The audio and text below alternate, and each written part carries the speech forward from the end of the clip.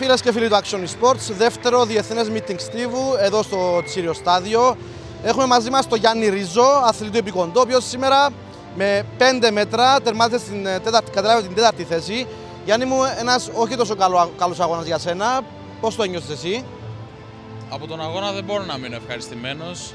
Από τη στιγμή που οι δυνατότητες μου γνωρίζω πως είναι για πολύ περισσότερο και το σώμα μου τουλάχιστον αισθάνομαι και δείχνει πως ε, ε, είναι σε κατάσταση ώστε να γράψω μια καλύτερη επίδοση, δεν είμαι ευχαριστημένος. Βέβαια είναι κομμάτι του, επικο... του επικοντού και κάθε αγωνίσματος και γενικά του στίβου το να κάνει ο αθλητής μια κοιλιά. Βέβαια θέλω να βρω τον παλιό καλό με αυτό όπως ήταν και στο φετινό κλειστό στίβο, όπως ήταν και στο περσινό ανοιχτό που γενικότερα ήμουν σε μια πολύ καλή κατάσταση, είχα μια πολύ καλή πορεία. Θέλω σιγά σιγά να βρω πάλι αυτόν τον, ε, αυτό τον καλό εαυτό. Έχουμε χρόνο μπροστά μας, αγώνες υπάρχουν, αλλά ελπίζω το συντομότερο να έρθει το αποτέλεσμα, το επιθυμητό αποτέλεσμα. Ωραία. Να πούμε ότι το 2022 είναι μια εξαιρετική χρονιά για σένα. Χάλκινο στους Μεσογειακούς. Μεγάλη βελτίωση του ατομικού ρεκόρ. Φτάσαμε στο 5,60. Το 23 ο Γιάννης Ζωρίο που στοχεύει.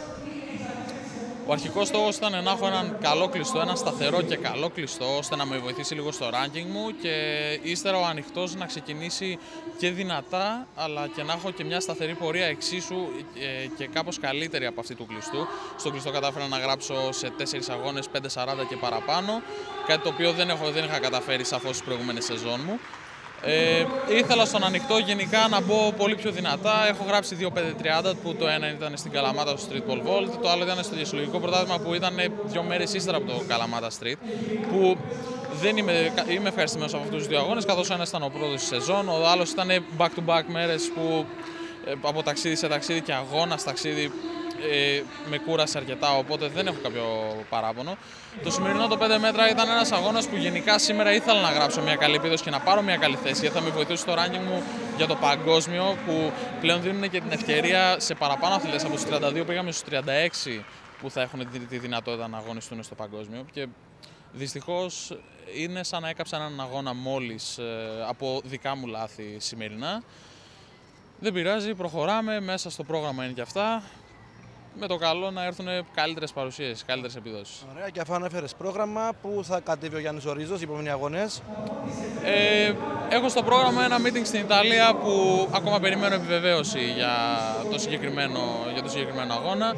Ύστερα από αυτό είναι το αερινό πρωτάθλημα που ε, θα, έχει, θα είναι και κριτήριο για το ποιος θα πάει στον Μπρουνο Ζάουλη ύστερα στη σεζόν.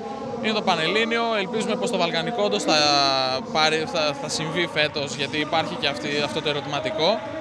Και από εκεί και ύστερα είναι και το Fly Olympia που θα είμαι εκεί παρόν για δεύτερη χρονιά και ελπίζω πως αυτοί οι αγώνες οι οποίοι έχουν και ένα καλό ranking και είναι καλής κατηγορίας ελπίζω να είναι καλοί αγώνες και επιδοσιακά ώστε να μου δώσουν ένα αβάτζο για το ranking μου αυτό.